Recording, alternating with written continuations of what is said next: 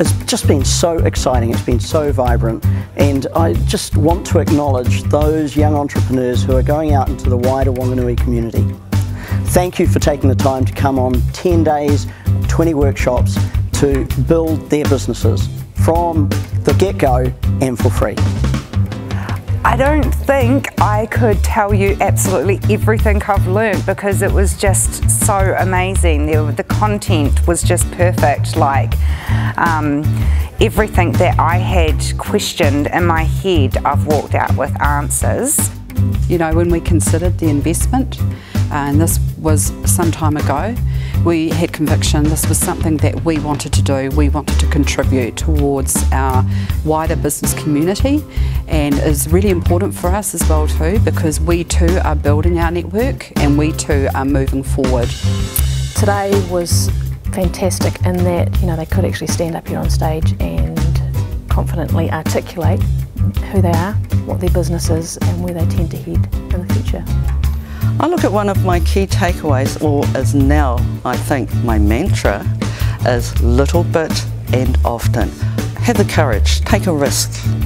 I love those ideas and I've taken a leap of faith and running with it with the support of the Pop-Up Business School of Aotearoa. I was really excited at the beginning of the course. and honestly, I'm amazed for the progress of every single of you. 10 days with your business ideas and now it's actually a business.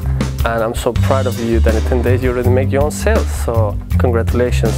And Whanganui Partners is your next step to make it grow.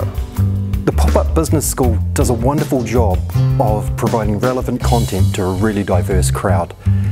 There's a huge amount going on, huge amount of information and a huge amount of support. If you're considering going into business, you should really get along to the Pop-Up Business School. So that's a wrap, Whanganui. The Pop-Up Business School has finished its amazing two weeks with incredible participants building awesome businesses.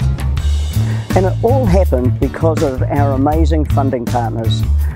Te Manu Atatu, the Maori Business Network, Whanganui and Partners, the economic development arm for Whanganui District Council, and of course Xero and their amazing software to help businesses to build and be sustainable. And for our attendees, we just can't wait to stay connected with them to see how they grow their businesses, how they might need additional support, and how they can connect even more strongly into the business community here in Whanganui. So yes, that's a wrap. If you want to know more about what we do at the Pop-Up Business School, the link is there and we would welcome every inquiry. But for our businesses that grew here at Whanganui, we wish them all the best.